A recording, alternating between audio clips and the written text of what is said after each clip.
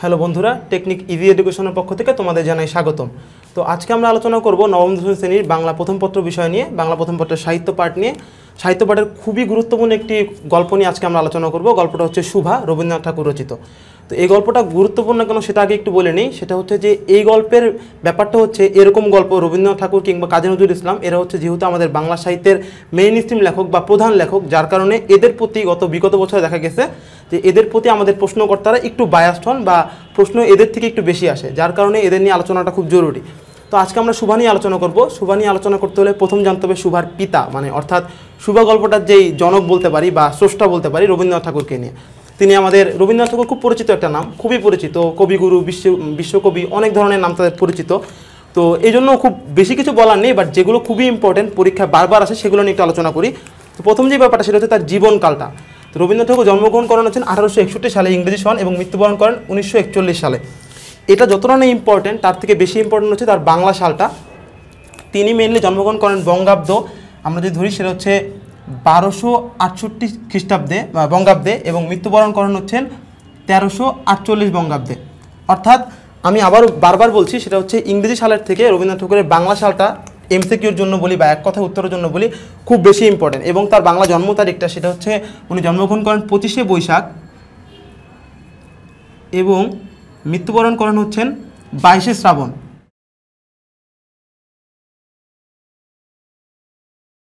বাইশে শ্রাবণ।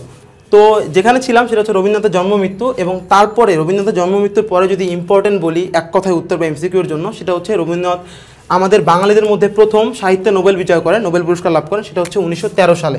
উনিশশো তেরো সালে ইংরেজি এবং কোন গ্রন্থের জন্য? গীতাঞ্জলি কাব্যগ্রন্থের জন্য।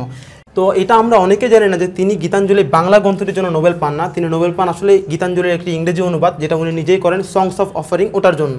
তো তারপরে আমাদের যেটা দরকার, সেটা হচ্ছে এটা একটু বেশি ইম্পর্টেন্ট সেটা হচ্ছে উনার বাংলা সাহিত্যে বিশেষ অবদান। আসলে রবীন্দ্রনাথের অবদান তো বলে শেষ করা যাবে না। মোটামুটি এমন কোনো সেক্টর নেই, শুধুমাত্র মহাকাব্যবাদে যেখানে রবীন্দ্রনাথ হাত দেয়নি এবং সেখানে সফলতা আসেনি। তো একটা ব্যাপার খুবই ইম্পর্টেন্ট সেটা হচ্ছে বাংলা সাহিত্যের নতুন একটা টপিক যেটা আগে কখনো ছিল না, রবীন্দ্রনাথ জন্মের আগে কিংবা রবীন্দ্রনাথ সেটা শুরু করার আগে। সেটা ছিল হচ্ছে বাংলা সাহিত্যের ছোট গল্প। সর্বপ্রথম ছোট গল্প রচনা করেন রবীন্দ্রনাথ ঠাকুর। তিনি আমাদের বাংলা সাহিত্যের ছোট গল্পের জনক। এর আগে কখনো বাংলা সাহিত্যের ছোট গল্প লেখা হয়নি বা ছোট গল্প বলে সাহিত্যের একটা বিষয় আছে, সেটা আমাদের জানা ছিল না। এরপরে যে ব্যাপারগুলো, রবীন্দ্রনাথের অনেকগুলো গ্রন্থ, কোনো কাব্যগ্রন্থ বা উপন্যাস বা নাটক আমরা বলে শেষ করতে পারব না, তবুও ইম্পর্ট্যান্ট কতগুলো গল্পের কথা আমি বলে দিচ্ছি, যেগুলো বারবার, অনেকবার এমসিকিউতে আসে বা এক কথায় প্রশ্ন আমরা বলতে পারি, বারবার আসে, আমরা বারবার এটা পরীক্ষা দেখতে পাই। তার মধ্যে প্রথম যে দুটা কাব্যগ্রন্থ, তারা হচ্ছে বলাকা ও চিত্রা। এই দুজন হচ্ছে কাব্যগ্রন্থ, খুবই ইম্পর্ট্যান্ট বারবার আসে। এরপরে যদি আমরা বলতে পারি, সে হচ্ছে চোখের বালি। এটা হচ্ছে উপন্যাস। চোখের বালি নৌকাডবি এবং শেষের কবিতা, উপন্যাস। এই তিনজন হচ্ছে উপন্যাস। তো এখানে একটা কিছু বিষয় বলার, সেটা হচ্ছে শেষের কবিতা নিয়ে একটা কনফিউজিং প্রশ্ন রেগুলার হয়। আমরা অনেকবার দেখেছি যে বোর্ড পরীক্ষায় একদম এই প্রশ্নটা বেশি হয়, সেটা হচ্ছে শেষের কবিতা কোন ধরনের রচনা? তো যেহেতু কবিতা আমরা, বন্ধুরা আমরা রেগুলারই ভুলটা করি, আমরা বলে ফেলি শেষের কবিতা কাব্যগ্রন্থ বাট না। শেষের কবিতা হচ্ছে একটি উপন্যাস। রবীন্দ্রনাথ ঠাকুরের প্রথম বা কি বলব, শ্রেষ্ঠ রোমান্টিক উপন্যাস বলা যায় একে। এবং তারপরে যে দুটো বলছি সেই হচ্ছে বিসর্জন ডাকঘর, এ দুটো হচ্ছে রবীন্দ্রনাথের নাটক এবং খুবই বিখ্যাত নাটক। বিসর্জন ডাকঘর, এ দুটো রবীন্দ্রনাথের নাটকের গ্রন্থ। ওকে? তো আমরা এই পর্যন্ত রবীন্দ্রনাথ ঠাকুর সম্পর্কে জানলাম। এবার আমরা আসল পড়া যেটা শুভা সেই গল্পটায় ঢুকবো। তো শুভা গল্পটা যদি বলতে যাই, প্রথম যদি আলোচনা করে, তাহলে শুভার ব্যাপারটা আসে হচ্ছে আমাদের গল্পের প্রধান চরিত্র সুভাষিনী ওকে নিয়ে। তো সুভাষিনীকে নিয়ে আলোচনায় যাওয়ার আগে একটু বলে নিই সেটা হচ্ছে অনেকে আমরা বলি যে সুভাষিনী বা শুভা গল্পের পাঠ পরিচিত আমরা পাবো। এটা হচ্ছে একটা ট্রাজিক গল্প বা কষ্টের গল্প। কারণ সুভাষিনী জন্মগতভাবে বোবা ছিল বা প্রতিবন্ধী ছিল, আমরা যদি একটু গল্পের ভিতরে যাই তখনই জানতে পারব। তো এই জন্য বলা হয় কষ্টের গল্প। বাট আমি ব্যক্তিগতভাবে কিংবা অনেক সাহিত্য বোদ্ধাগণ এই সুভাষিনী গল্পটাকে মোটেও কষ্টের গল্প বলেন না, বরং বলেন এটা বন্ধুত্বের গল্প। সুভাষিনী গল্পটা হচ্ছে একটা বন্ধুত্বের গল্প। কেন বন্ধুত্বের গল্প? আমরা একটু ভিতর দিকে গেলে জানতে পারব। আমরা একটু ভিতরে আলোচনা যাই। সেটা হচ্ছে রবীন্দ্রনাথ ঠাকুরের সুভাষিনী গল্পটার নামকরণ করা হয় শুভা এই সুভাষিনী নামের প্রথম অংশটুকু থেকে শুভা থেকে। তাকে সুভাষিনীকে তার বাবা মা ছোটো করে শুভা ডাকতো সেখান থেকে। এই গল্পটা রবীন্দ্রনাথের গদবাধা যে গল্পগুলো যেভাবে ছোটো গল্প যেভাবে শুরু হয়, সামান্য একটা রসিকতা দিয়ে ব্যঙ্গাত্মকভাবে এটা ঠিক ওভাবে শুরু করা। এটা শুরু হয় ঠিক এইভাবে, অনেকটা বাক্যটা অনেকটা এরকম যে, কন্যার নাম সুভাষিনী রাখার আগে তাহার পিতা জানিত না যে সে বোবা হইবে। এই কথার মানে হচ্ছে এরকম যে সুভাষিনী শব্দের অর্থ যে সুন্দর ভাষায় কথা বলে। কিন্তু দুঃখজনক ব্যাপার, যার নাম রাখা হলো যে সুন্দর ভাষায় কথা বলে, সে কথাই বলতে জানে না। সে জন্ম বোবা। তো এখান থেকে গল্পের শুরু, দেন একটা প্রশ্ন আমাদের প্রথমেই জাগে যে বোবার নাম সুভাষিনী, তাহলে নামটা কেন পরিবর্তন হয়নি? এই উত্তর রবীন্দ্রনাথ, আপনার এই প্রশ্নের উত্তরটা রবীন্দ্রনাথ সাথে সাথে দিয়ে দিলেন। কি বললেন? তার নাম পরিবর্তন করা হয়নি, কারণ তার বড় দুই বোনের নাম ছিল সুহাসিনী এবং সুকেশিনী। আমি আবারও বলছি, সুহাসিনী এবং সুকেশিনী, এই দুটো হচ্ছে আমাদের এমসিকিউর জন্য একটি ইম্পর্টেন্ট বা এক কথায় প্রশ্ন যে, সুভাষিনীর বড় দুই বোনের নাম কী ছিল? তো সুহাসিনী এবং সুকেশিনী, যেহেতু বড় দুই বোনের নাম এটা, সেই সিরিয়ালে তার নামও সুভাষিনী রাখা হয়েছে। তো গেল, তার পিতার নাম ছিল বাণীকণ্ঠ, অর্থাৎ সুভাষিনী বাবার নাম বাণীকণ্ঠ। সে তাকে ছোট করে শুভা ডাকতো এবং এই নামে আমাদের গল্পটা। গল্পে একটু ভিতরে যাওয়ার পর আমরা জানতে পারি, প্রথম প্যারাটা পরে সেকেন্ড প্যারা যখন আমরা যাব, তখন আমরা জানতে পারি যে তার বাবা মা সে বোবা ছিল বলে বা জন্ম বোবা বলে মোটেও ব্যাপারটাতে হ্যাপি ছিল না বা খুশি ছিল না। বরং তারা যথেষ্ট বিরক্ত ছিল এবং প্রচণ্ড মানে অপমানিত বোধ করতো যে আমার মেয়েটা বোবা। এবং ওই সময় আমরা যদি চিন্তা করি গল্পটা মেবি লেখা হয়েছে হচ্ছে উনিশশো দশ সালের পরে। তো ওই সময়টুকুতে ছিল একটা কল্পনা করা হতো এখন আমাদের যুগ এখন অনেক আধুনিক, আমরা অনেক এগিয়ে গেছি বাট তখন চিন্তা করা হতো একটা মেয়ের জন্ম হয়েছে বিয়ে করার জন্য মানে বিয়েটা তার লাইফের মেইন টার্গেট তো যেহেতু একটা বোবা মেয়ে, তাকে কে বিয়ে করবে? কোন ছেলে বিয়ে করবে? তো এটা নিয়ে তার ফ্যামিলি সবসময় প্রেশারে থাকতো। তার বড় দুই বোনের বিয়ে হয়ে গেছে বাট শুভার বিয়ে হবে কি না বা আদৌ কেউ বিয়ে করবে কি না কারণ সে বোবা, এটা নিয়ে তার পরিবার চিন্তায় থাকতো। তো আমি যেখানে ছিলাম, প্রশ্ন রাখতে পারে, বন্ধুত্বের গল্প কেন? বন্ধুত্বের গল্প এই জন্য, কারণ শুভা যেহেতু বোবা, তাই তার পরিবার সবসময় তাকে নিয়ে আজে বাজে কথা বলতো তার সামনে। সে কিন্তু কানে শুনতে পায় না, তা না। সে কিন্তু স্পষ্ট কানে শুনতে পায়। তারপরেও তার, সে বোবা বলে তার সামনে, সে তাকে শুনিয়ে শুনিয়ে অনেক আজে বাজে কথা বলা হতো তার প্রতিবেশী, তার বাবা মা, ভাই বোন। তো যার কারণে সে সবসময় এক ধরনের গিলটি ফিল বা অপরাধ বোধে ভুক্ত, যে আমি বোধহয় আমার পরিবারের জন্য খুব নোংরা কিছু, আমি বোধহয় আমার পরিবারের জন্য একটা অভিশাপ। তো যার কারণে একটা বাচ্চার বা একটা ছোট একটা মানুষের যখন জন্ম হয়, তার প্রথম বন্ধু হচ্ছে তার পরিবার, কিন্তু তার প্রথম জীবনটা শুরু হয়েছে বন্ধুত্বহীনভাবে। অর্থাৎ এই গল্পটা বন্ধুত্বের এই জন্য, কারণ একটা বন্ধুহীন মানুষের গল্প শুরু হচ্ছে এখান থেকে। সেই মানুষের কোনো বন্ধু নেই। গল্পের ভিতরে আমরা চলে গেলাম, শুরু হলো রানিং তো এখানে যেটা বলা হচ্ছে, যেহেতু একটা বন্ধুহীন মানুষ, যেটা হয়, মানুষ যখন একা থাকে, কোনো না কোনো একটা অবলম্বন আঁকড়ে ধরে, কাউকে না কাউকে ধরে। তো এই মানুষটাও তিন তিনটা বন্ধু খুঁজে বের করল, তার জীবনের তিন তিনটা পার্টে। বন্ধুগুলো কীভাবে পেল? যেহেতু তার পরিবার খুব অবহেলা করছে, সবসময় অপমানের কথা বলছে, তো সুতরাং সে কাউকে শেয়ার করবে বা কাউকে বলবে তার দুঃখটা। কিন্তু তার বলার মতো অ্যাবিলিটি তার কণ্ঠে নেই। তো কি করা যায়? নীরবভাবে কাকে বলা যায়? তাকেই বলা যায় যে নীরবতার ভাষা বুঝে, যে নিশ্চুপতার মিনিংটা বুঝে। তো এই জন্য সে প্রথম যে বন্ধুরা তৈরি করল, সে হচ্ছে তাদের গ্রামের একটা নদী। তাদের গ্রামের নাম চণ্ডীপুর। এটাও একটু বলে নিচ্ছি, কারণ এটাও খুবই ইম্পর্ট্যান্ট একটা এমসিকিউ যে শুভা যে গ্রামে বাস করতো, সেটার নাম কি? চণ্ডীপুর। চণ্ডীপুর। তো তারপরে যেটা বলছিলাম যে, চণ্ডীপুর গ্রামের পাশ দিয়ে একটা নদী চলে গিয়েছিল, নদীর নামটা গল্পে উল্লেখ করা নেই। তো সেই নদী ছিল তার প্রথম বন্ধুত্ব, অর্থাৎ শুভার প্রথম বন্ধু হচ্ছে নদী।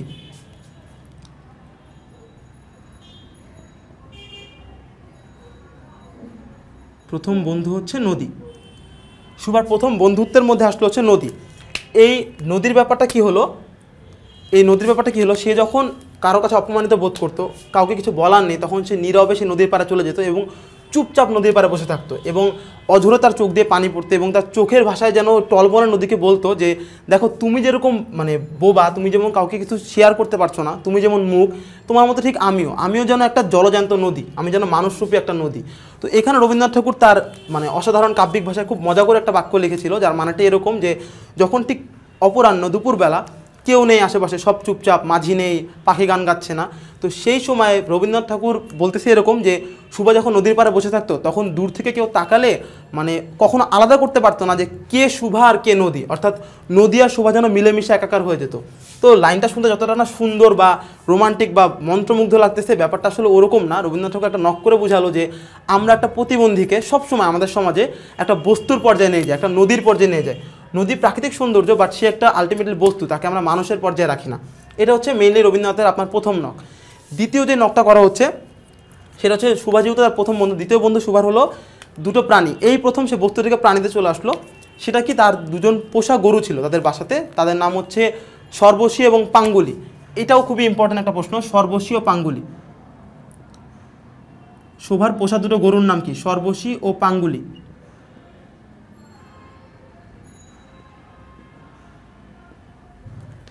খুবই ইম্পর্ট্যান্ট প্রশ্ন। তো এই দুটো ছিল দুটো পোষা গুরু। তো সে যখন খুব অপমানিত বোধ করতো, বিশেষ করে তার মা যখন বলতো যে, আমরা যদি দেখি যে আমাদের সমাজে বা আমাদের পরিবারে মারা কিন্তু সন্তানের দোষটা খুব বেশি ঘাড়ে নেয় যে, কোনোটা অপরাধ করলে আল্লাহ না জানি কী দোষে তোকে এরকম পাঠালো বা আমার কোন পাপে তুই এরকম হলি, এরকম কিছু কথা বলে। তো এই কথাগুলো যখন সুভাকে বলতো তার মা, তখন সে একটা মানসিক যন্ত্রণায় ভুগত। তো তখন সেগুলো শেয়ার করতে যেত সর্বশী এবং পাঙ্গলি, তার দুটো পোষা গরুর কাছে। এবং এই গরু দুটোও তো বধির মানে তারাও তো বধির বলতে সে মুখ আর কি, কথা বলতে পারে না।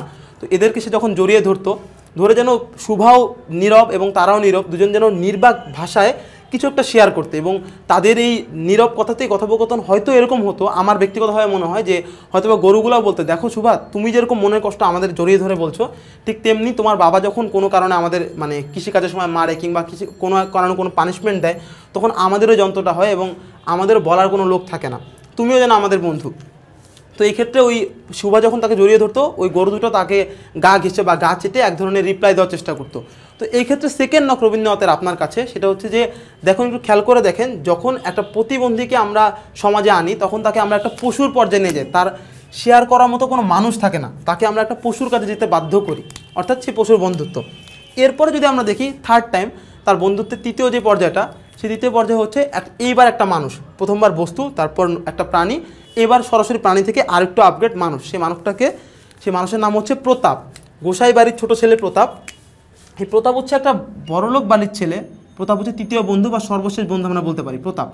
তো ওর কথা যদি একটু বলি, ও হচ্ছে গোসাই বাড়ির ছোটো ছেলে, যেহেতু গোসাইরা ছিল ওখানে জমিদার বাড়ি বড়লোক বাড়ি, তো তার নাই কাজ তো খই ভাজ, একটা কথা বলে না? তো তাদের কোনো কাজ নাই, সে কোনো কাজ নাই, সে বসে বসে সারাদিন মাছ ধরে, মাছ আনে, তুলে খায়, এরকম মানে একদম পুরা ওপেন লাইফ বিন্দাস লাইফ যাকে বলে।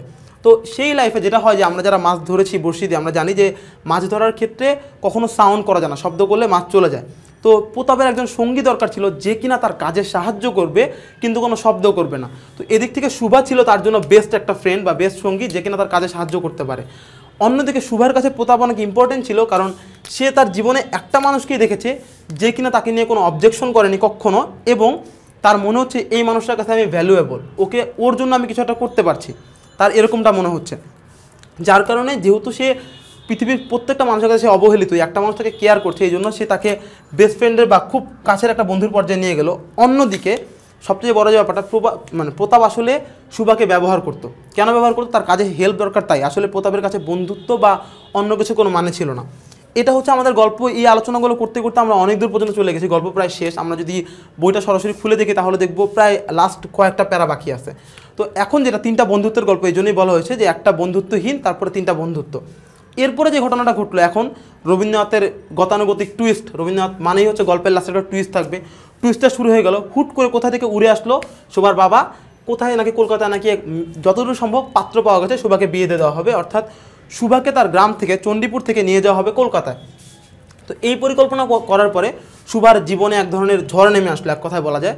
সুভা কিছুতেই কলকাতায় যাবে না। প্রতিবেশীরা বলা শুরু করল, সুভা, বাহ, খুব ভালো হয়েছে, তোর তো বিয়ে ঠিক হয়েছে। এখন বিয়ে ঠিক হয়ে যাবে। বাট সুভা ব্যাপারটা নিতে পারছে না, কারণ তার কাছে তার গ্রামটা অনেক বেশি আপন, কলকাতার জাঁকজমকপূর্ণ মানে পরিবেশ থেকে। তো সে কিছুতেই যাবে না। সে যেহেতু বলতে পারে না, সে তার চোখের ভাষা দিয়ে, কান্না দিয়ে বোঝানোর চেষ্টা করে যে, না, আমি যাব না, আমি থাকব এখানে। কিন্তু তার পরিবার কখনোই ব্যাপারটা বুঝতে চায়নি এবং তাকে নিয়ে যেতে বাধ্য করে। তো একে একে সে সবার কাছ থেকে বিদায় নেওয়া শুরু করে নদীর কাছ থেকে। তার তিন যে বন্ধু, নদী সর্বশী পাঙ্গুলি মানে তিন দুটা গরু এবং প্রতাপ, তিনজনের কাছ থেকে বিদায় নেয় এবং কেউই তাকে আসলে থাকার জন্য জোর করে না। প্রত্যেকে তাকে এক ধরনের আচ্ছা যাচ্ছ, যাও। প্রত্যেকে মন খারাপ করে, বাট এক ধরনের হতাশাব্যঞ্জক কথা এবং সবচেয়ে বেশি করে প্রতাপ, সে জাস্ট নর্মালি বলে, বিয়ে হয়ে গেলে আমাকে ভুলিস না। মানে সে এক ধরনের ফান করে, যেটা সুবার খুব একটা পছন্দের হয় না। তো যেটা হয় যে দিন শেষে সুভা যেদিন চলে যাবে, সেদিন সকালবেলা, আমরা গল্প প্রায় শেষ, সেদিন একদম ভোরবেলাতে সে ঘুম ভেঙে উঠল, তখনও সূর্যের আলো ফুটেনি, সে দরজা খুলে বের হলো, হাঁটতে হাঁটতে সে ঠিক নদীর পাড়টায় চলে গেল, ঠিক আছে? ঠিক এই জায়গাতে রবীন্দ্রনাথ তার কমন গতানুগতিক দুর্দান্ত একটা টুইস্ট দিল এবং এই লাস্ট একটা লাইন দিয়ে সে ঠিক বুঝিয়ে দিল যে একেই বলে রবীন্দ্রনাথ বা রবীন্দ্রনাথ কেন কবিগুরু বা বিশ্বকবি বলা হয়। তো রবীন্দ্রনাথ ঠাকুর কী করলেন? এই লাইনে যখন সুভাকে তিনি নদীর পাড়ে নিয়ে গেলেন এবং সুভা হঠাৎ করে নদীর পা মানে নদীর পাড়ে যেই মানে ঘাসের যে জায়গাটা ওখানে শুয়ে পড়ল। শুয়ে পড়ে দুই হাত দিয়ে সে ঘাসগুলো জড়ায় ধরলো। জড়ায় ধরার চেষ্টা করল আর কি। জড়ায় ধরার পরে একটা লাইন দাও এরকম যে সুভা তার নির্বাক বাক্যে এভাবে বলতেছে কথাটা মানে বোবার ভাষায় বলতেছে এভাবে যে, মা, তুই আমাকে ছেড়ে যাস না। তুইও আমাকে আমার আমার মতো করে বাহু দিয়ে জড়ায় ধর। মানে আমি যেভাবে তোকে জড়ায় ধরছি তুই আমাকে জড়ায় ধর। প্রশ্ন হচ্ছে এটা কেন টুইস্ট কেন আপনি বারবার বলতেছি যে রবীন্দ্রনাথ এখানে প্রমাণ করলেন সে সে রবীন্দ্রনাথ? এর কারণটা হচ্ছে যে একটু খেয়াল করে দেখেন, এই লাইনটায় বলা হচ্ছে মা। সে তার নদীর পাড়টাকে বলতেছে মা। অর্থাৎ দেখেন, আমরা যদি জানি যে আমাদের সব থেকে আগের যে ব্যাপারটা, আমাদের জন্মের পর আমাদের প্রথম বন্ধু বলি বা শেষ আশ্রয় বলি বা প্রথম আশ্রয় বলি, সেটা হচ্ছে আমাদের মা। সবার কাছে মা সবচেয়ে বেশি ইম্পর্টেন্ট তো এই ক্ষেত্রে শুভার কাছে তার আপন মায়ের থেকে নদীটা তার কাছে মা বেশি, এই জন্য কারণ একটা প্রতিবন্ধীর কাছে, এখানে রবীন্দ্রনাথ ঠাকুর জাস্ট নখ দিয়ে আপনাকে এতটুকু নিউজ দিল যে একটা প্রতিবন্ধীর কাছে তার পরিবার এবং তার বন্ধু বান্ধবের থেকে সব থেকে আপন হচ্ছে তার পরিবেশ, সে যেই পরিবেশটা বেড়ে ওঠে, তার জন্য একটা কমফোর্টেবল পরিবেশ খুব প্রয়োজন।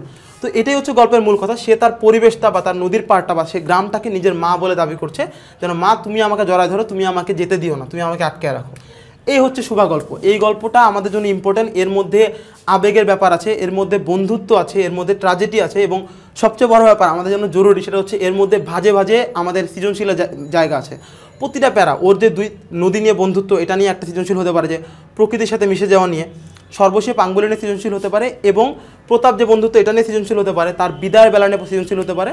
অর্থাৎ প্রতিটা ব্যাপারে সৃজনশীল আছে। তো এটাই হচ্ছে আমাদের আজকের টোটাল মানে আমাদের লেসনটা আমরা এটা একটু মনোযোগ দিয়ে পড়ব। রবীন্দ্রনাথের জীবনীটা আমাদের যতটুকু ইম্পর্টেন্ট শোভা গল্পটা ঠিক ততটুকু ইম্পর্টেন্ট তো আজকের মতো এখানে শেষ করছি বন্ধুরা, সবার জন্য শুভকামনা। আশা করেছি, আশা করছি আমার পড়াটা আপনাদের, তোমাদের মাথায় গিয়েছে এবং দেখা যাক, ইনশাল্লাহ আমরা ভালো করে চর্চা করব যেন এই গল্পটা আমরা ঠিকভাবে কমপ্লিট করতে পারি। ধন্যবাদ।